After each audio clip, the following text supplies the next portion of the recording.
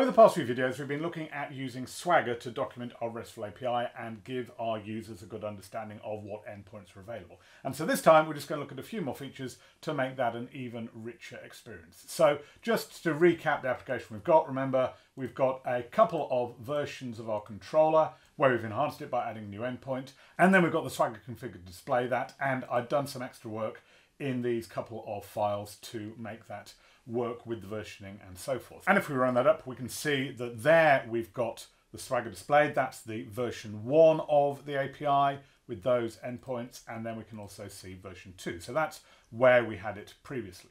What I was going to do though is firstly use documentation comments, which are a standard feature of C Sharp, been around since the very beginning, but use them to get some extra information so that we can describe actually what these endpoints mean. So the first thing we need to do for that is turn on the documentation comment. So if we just go to the properties page for the project and do a quick search on doc, there we can see the checkbox which turns that on. We can also optionally change the name of the file that these are all put into, but normally it's just the same as the name of the project and that's what we leave it as. And the first thing you'll notice there is you get a lot of warnings all over the place now because it's telling us that we've turned on documentation comments, but we've got a public class here that hasn't got any documentation comments.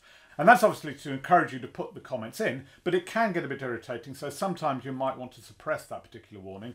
But a, maybe a better way to get around it is actually to consider whether your classes should be internal. Because if you change something to internal, you don't get that warning because it's not being exposed as part of a public interface. So something to look at. But for now, I've not got time to put comments everywhere, so we're just going to have to live with those warnings. What I'm going to do is go down and just put comments on a couple of the methods that we've got here. So let's put one on this summary. So all we need to do is do the triple slash and then it gives us just somewhere to put the summary. That's just a coincidence that that's called summary as well as that being the name of the method. But what we're going to do is simply say provides a summary of all book reviews and then returns a collection of all the books with the average rating for each.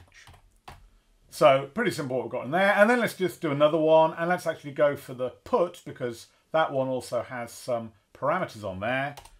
So if we do the triple slash there, you can see it's read the parameters. And so on this one, we're going to say updates a single book review. And then in here, we'll put the ID of the review. Here we'll put the updated review and then returns the HTTP status code.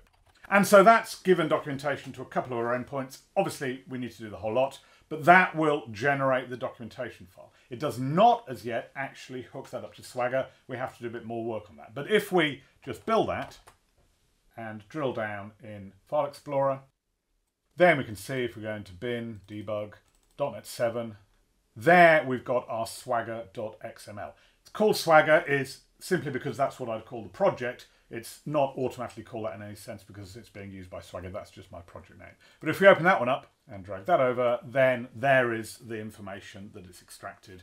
And obviously we'd have far more of that if we'd documented everything. But now we need to put that in to Swagger itself. So we need to go to the program to do that. And in here, we need to configure it to use that documentation file. So the first thing we're going to do is get hold of the path to the documentation file. So we're going to say var docfile equals, and then we do know the name of the file because we just saw it's called swagger.xml, but that would mean this code was a little bit unportable in that you'd have to rename it if you ever copied that and pasted it and that sort of thing. So the more normal way we do it is you get the project name using reflection. So we actually do something like this. We say type of and then program. Just has to be any class inside this project. So program is where we are now. So that'll just do because from the program, we're then going to get the assembly. And from the assembly, we simply do a get name dot name. And then for some reason it's put JSON on there, but it's actually XML we want. So that get name, dot name, in this case will give us swagger, so we have swagger.xml. And then we need to actually tell Swagger to use that. So we're going to say options and then dot include XML comments, simple as that. And then on there, we say path dot combine, and we're going to combine app context dot base directory, which will just give us the folder we're located in, and then doc file that we've just put in there.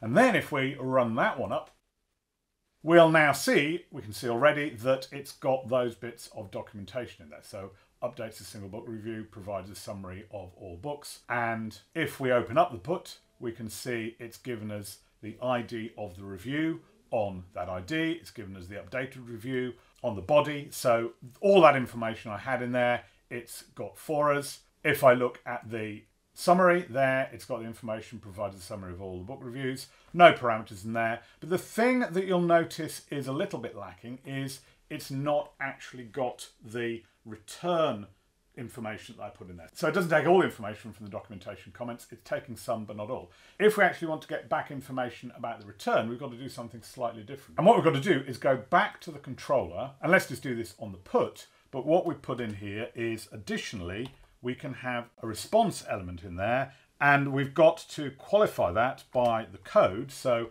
if we look at the codes we've got here, we could put equals 200, and then simply the update was successful.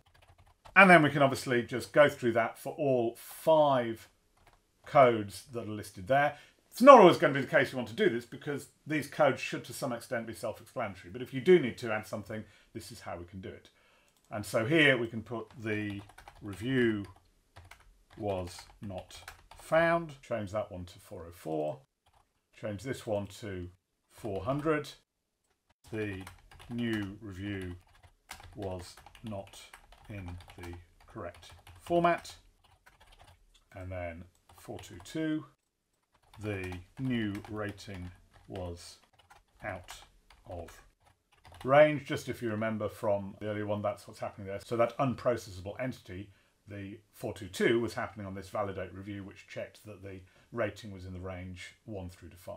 And then finally, we've got a 500, and let's just say an exception was thrown. So there's just an example of the ones that we might want to have. And now if we run that up, and if we look at that put, then we can see on the status codes we're getting the new information that I put in there. So that's a useful feature. You don't have to use that, but you might want to. So that's how we can have our auto documentation comments. Another thing we can do, and we quite often want to do, particularly if we've got versioning like we have here, so we've got the version 1 and version 2, although you might want to run these side by side for a time, you want to encourage people maybe to move away from the old one. You might not, but if you want to, then what you can do is on that controller, you can simply add another attribute which is obsolete. And so this is something that's just general.NET. You can add that to any class you like. But if we do it when this class is being displayed in Swagger, we can see we get quite a big effect because it's crossing out absolutely everything to show us that those are all obsolete. We could have done it on individual methods, but we did it on the whole controller. And so if we look at book reviews version 2, that's all fine still, but book reviews version 1, it's all crossed out. It still works, so it's not preventing you from doing it, it's just trying to heavily hint all the way by giving you that different look and greying it out a little bit that you're not supposed to be using this. We can actually go a bit further with that, because if we go into the program and down to here, which was, remember, where we were setting up that drop down that shows us that version 1 and version 2 are available. You might want to adjust that slightly so that it actually has the information in the drop down as to whether this is obsolete. So we don't even go to the drop down if it's not the one we're interested in. And so what we can do with that is on this one here, so that's the string that's actually being displayed there, we could put on the end of that something like this. We could use desk, the description, dot is deprecated. So that will tell us whether this particular version is deprecated. And then if it is deprecated, we can say so. So we'll put deprecated in brackets. And otherwise, we'll just have an empty string. And so now, if we run that up, we can see that it's not working. It's not put deprecated on the end of version 1. And that's a little bit of an oddity with Swagger. So although Swagger has this is deprecated flag, it doesn't get that off the obsolete attribute, even though it does use the obsolete attribute to mark the individual methods as being obsolete. What we have to do is go a bit further and on this API version, when we said it was version 1, on there we have to say deprecated equals true.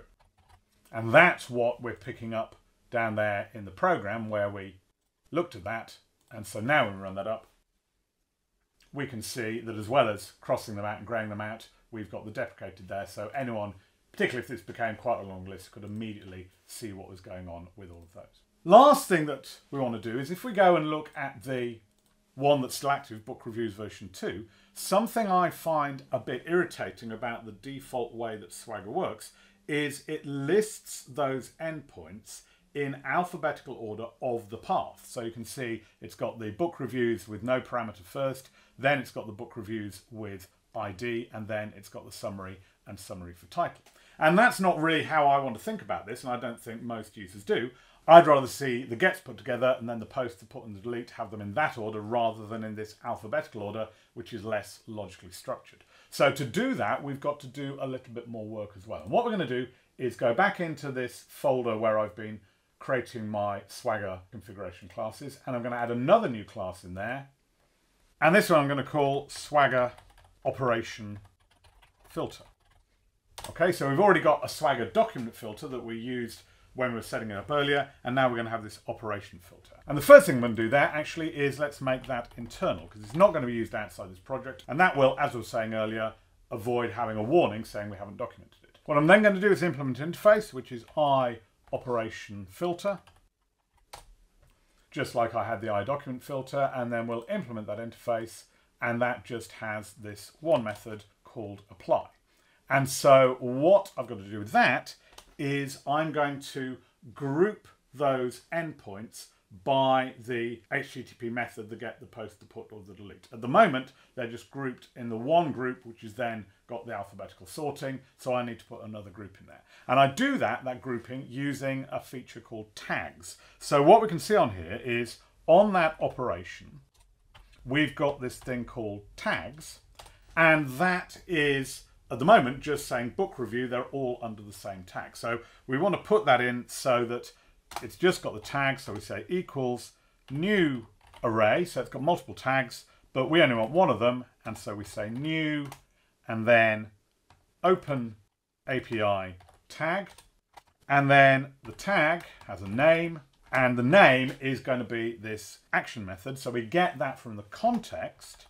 And so on the context, we've got this API description, and on there, we've got the HTTP method, the get, the put, the post, and the delete. So we're simply tagging each one of the endpoints with the method name, and that should be all we need to do. Well, we've got to do one more thing. We've actually got to make use of this Swagger operation filter, and you won't be surprised, that's back in program.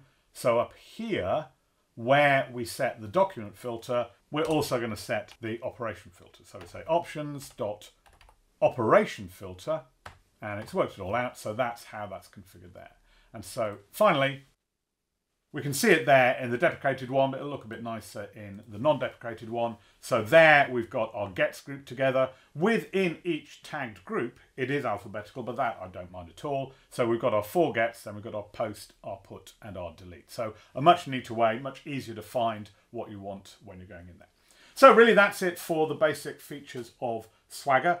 Be coming back to Swagger in a few videos time, I think, because I'm going to do some videos on how we can do authentication and authorization with Web API. And obviously, if you're then using Swagger to interrogate your API, you need to be able to authorize yourself through that. So that's when we'll be looking at Swagger again in a few videos time. But I do hope you enjoyed that one. If you did, do click like, do subscribe, and I'll see you next time.